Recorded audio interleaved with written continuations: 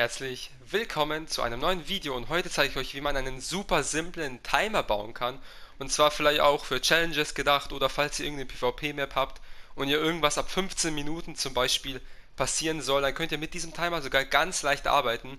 Und ich wollte euch erklären, wie dieser Timer mit Scoreboards funktioniert. Wenn ihr weitere Videos sehen wollt und nichts verpassen wollt, wie gesagt, gerne abonnieren, äh, gerne Kommentare schreiben, vielleicht wollt ihr irgendein anderes Tutorial für mich sehen und dann kann ich es mal vielleicht umsetzen und dann sehen wir uns direkt beim Tutorial.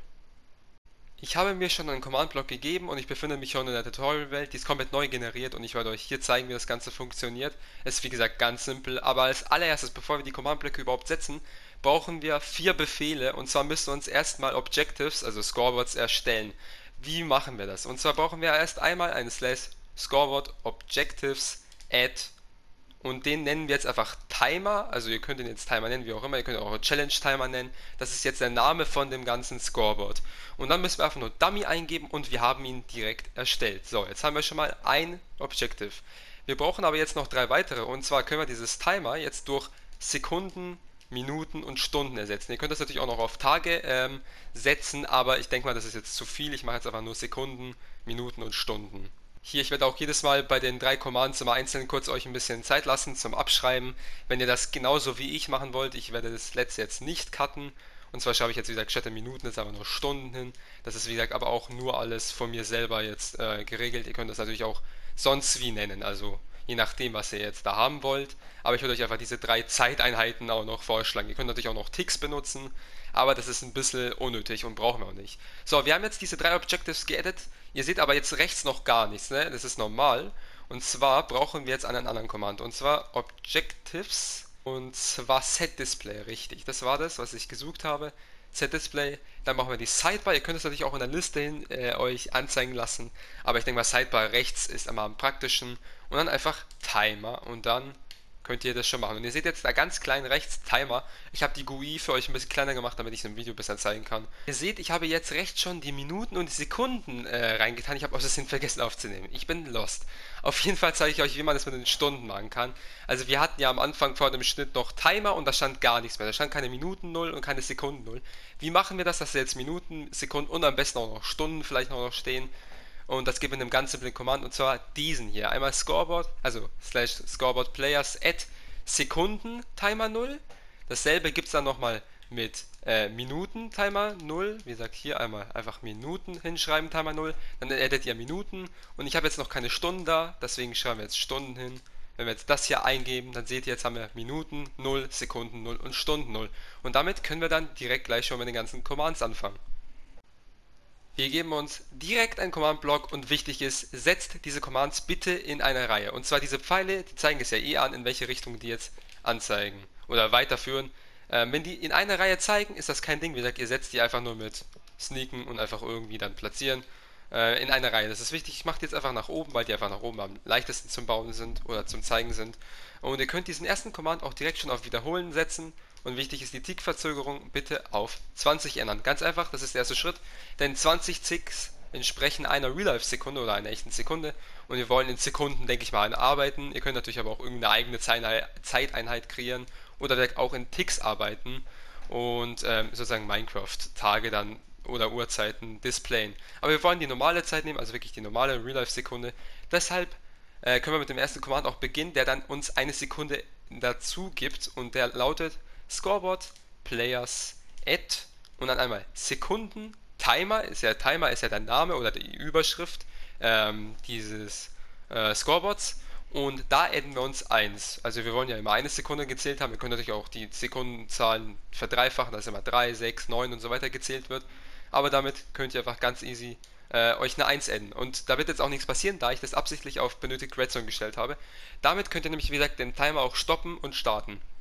Ihr könnt dazu natürlich, wie gesagt, auch noch irgendwie mit anderen Command-Blöcken dann Redstone-Blöcke hier platzieren und dadurch den Timer starten. Wie gesagt, durch diesen Timer kann man ganz viele verschiedene mögliche Minispiele steuern. Ihr könnt wie gesagt, auch testen, wie viele ähm, Sekunden ihr gehabt habt.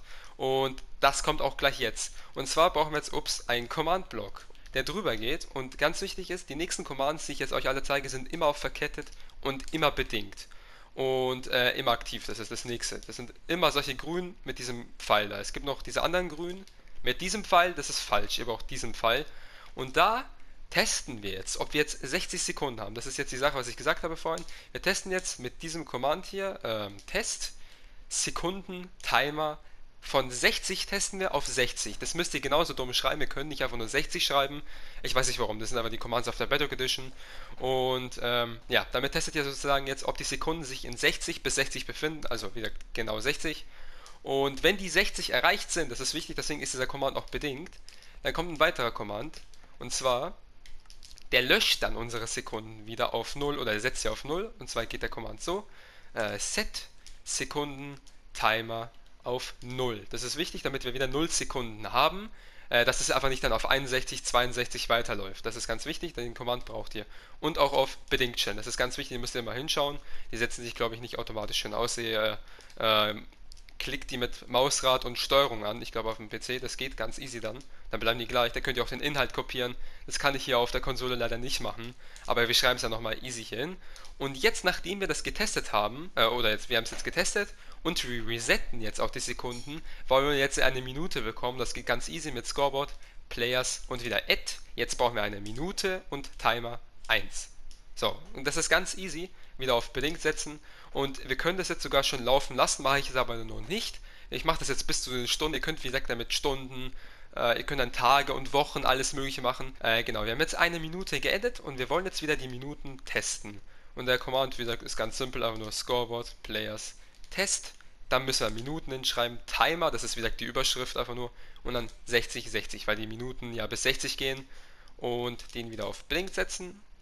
Dann können wir den wieder kopieren äh, wir geben uns jetzt, äh, wir haben jetzt getestet, ob wir 60 Minuten haben. Und wenn wir die 60 Minuten erfüllt haben, kommt ein Command, der das Ganze wieder auf 0 setzt. Genau, Minuten, Timer 0, bedingungslos. Und dann können wir uns eine Stunde adden. Genau, ich habe nochmal nachgeschaut, dass ich nicht falsch liege. Und der letzte Command lautet dann einfach nur Scoreboard Players add Stunden Timer 1. Ganz easy, wieder auf bedingt und das war's. Jetzt können wir, die, wie gesagt, bis zu den Stunden zählen. Wenn ihr nach den Stunden nochmal ähm, die Test-Commands und die Set-Commands setzt, dann könnt ihr auch noch äh, Tage daraus machen, Wochen, wie auch immer. Ihr müsst, wie gesagt, nur äh, sicher gehen, dass dann von Stunden aus 24 steht und nicht mehr 60 wie das. Äh, ich glaube, in dem Command hier steht, genau, da steht ja 60, weil wir ja 60 Sekunden haben. Und wir können, wie gesagt, jetzt auch diesen Command starten. Ihr könnt diesen Redstone-Block ja auch per Command setzen, also ihr könnt mit einem NPC dann auch den Timer starten. Wir haben jetzt diesen Command gestartet und ihr seht im Chat wird dauerhaft etwas angezeigt und ich denke mal, das wollt ihr alle nicht haben. Und das können wir ganz easy umgehen und zwar muss ich kurz den Command suchen. Ich habe hier sehr, sehr viele Commands. Und zwar genau das hier. Äh, Game Rule, Command Block Output, False. Wenn ihr das hier eingibt, dann kommt nie wieder mehr so eine Chat-Nachricht vom Command und das hört auf zu spammen. Das ist ziemlich praktisch. Und ihr seht auch, meine Sekunden werden jetzt nach vorne gezählt und das würde auch komplett funktionieren. Ähm, bis zu einer Stunde. Ihr könnt in den ersten Command hier reinschauen, da steht ja immer dann, eine Sekunde würde hinzugefügt, neu 31, das ist jetzt die jetzige Zeit. Dann wird hier getestet, ob das zwischen 60 und 60 liegt. Der Command-Block sagt sogar, dass es gerade nicht zwischen 60 und 60 liegt. Deswegen warten wir jetzt, bis es auf 60 springt. Wir befinden uns im Final Countdown, noch 3 Sekunden, 2, 1. Und wir haben jetzt eine Minute. Äh, das ist immer so, dass die äh, durcheinander springen, die ganzen ähm, rechts vom Scoreboard die ganzen Namen, wie gesagt, die Sekunden sind jetzt in, immer oben oder die größte Zahl wird jetzt immer oben angezeigt. Äh, das kann man leider jetzt nicht nach Sekunden, Minuten und Stunden sortieren, das ist leider immer vom Spiel selber sortiert. Das geht, glaube ich, nicht meines Erachtens, aber ich denke mal, das ist auch egal. Hauptsache, ihr wisst, eine Minute und 20 Sekunden sind wir jetzt in der Welt oder seitdem läuft schon dieser Command. Wenn wir jetzt da reinschauen, sehen wir, die Sekunden wurden auf 0 gesetzt, das ist die letzte Ausgabe. Genau, jetzt haben wir eine Minute und der drüber testet jetzt, ob wir jetzt 60 Minuten haben und das ist natürlich jetzt nicht der Fall, deswegen passiert da jetzt noch gar nichts. Wenn wir jetzt aber 60 Minuten hätten, dann wäre jetzt eine Stunde, äh, würden die 60 Minuten, wie gesagt, gelöscht werden durch 0 und wir hätten eine Stunde dazu bekommen von dem obersten Command-Block und das Ganze war es auch vom Tutorial. Und das war's vom Video. Ihr habt schon gesehen, es ist an sich relativ easy. Also ich finde es einen sehr, sehr leichten Command. Es ist einfach nur Verständnis, was halt wahrscheinlich den meisten Leuten fehlt, wenn die da Probleme haben. Aber ich hoffe, ich konnte euch damit erklären. Wie gesagt, das ist einfach nur eine ganz easy ähm, Setzmechanik. Ihr setzt einfach nur die Zeit dann einfach zurück und edit einfach eine Minute oder sowas. Und an sich ist es ziemlich praktisch. Wie gesagt, ihr könnt das für Minigames benutzen, für PvP-Server, alles Mögliche, wo ihr Timer habt. Oder vielleicht habt ihr auch Challenges, wo ihr wissen wollt, wie lange ihr gebraucht habt. Dann könnt ihr das damit auch machen. Und wenn euch weitere Videos noch von mir interessieren, wieder gerne einfach äh, abonnieren und die Glocke aktivieren. Und dann verpasst ihr auch nichts und ich würde mich gerne über Bewertungen freuen und dann sehen wir uns beim nächsten Video. Tschüss.